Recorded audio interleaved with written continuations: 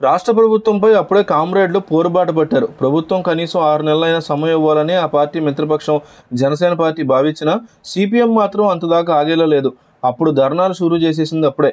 ఈ పార్టీకి ప్రత్యేక జనాల్లోకి వెళ్ళడం అనే ప్లాన్ చేస్తున్నారు. వీళ్ళకి సంబంధించినటువంటి కొన్ని పత్రికలు మాత్రమే సిపిఎం ర్యాలీకి విస్తృత స్థాయిలో కవరేజ్ ఇచ్చాయి. కాంట్రాక్టు అవుట్సోర్సింగ్లతో పాటు వివిధ పద్ధతుల్లో పనిచేస్తున్న లక్షలాది మంది ఉద్యోగం తొలగించడమేనా రాజన్న రాజ్యం అంటూ సిటిఐయు రాష్ట్ర ప్రధాన కార్యదర్శి ఎంఏ గఫూర్ ప్రశ్నించారు. వెలుగు వివోఏ సంఘం నిర్వహించినటువంటి చలో విజయవాడ కార్యక్రమంలో ఆయన పాల్గొన్నారు.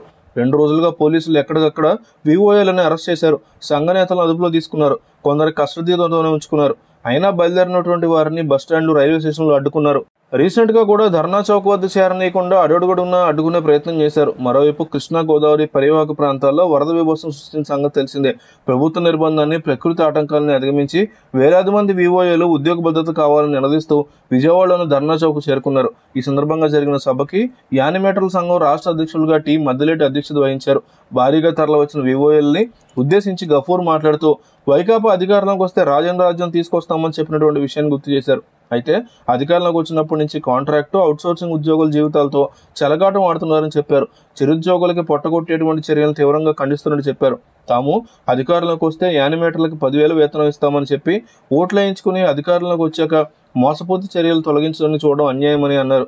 గత ఐదు నెలలుగా వేతనాలు అందక యానిమేటర్ల కుటుంబ పోషణ భారమై తీవ్ర ఇబ్బందులు గురవుతున్నారని వివరించారు. కొత్త ఉద్యోగాలు చేస్తున్నామని చెప్తూ అదే సమయంలో లక్షన్నర మంది ఉద్యోగాలను తొలగించడం ఎంతవరకు సభమని ప్రశ్నించారు. యానిమేటర్లు ఆశాలు ఎన్ఎంఎంలు మధ్యాహ్న భోజన కార్మికులు ఫీల్డ్ అసిస్టెంట్లు మీ సేవా ఉద్యోగులు ఇలా అనేక రంగాల్లో చిరు ఉద్యోగాలు ప్రమాదంలో పడ్డాయని తెలిపారు. ప్రభుత్వం ఇప్పటికైనా కళ్ళు తెరవాలని యానిమేటర్లకు పదివేలు వాళ్ళ ఉద్యోగ భద్రతకి ఐదు నెలల వేతన బకాయిలు చెల్లించాలని డిమాండ్ చేశారు.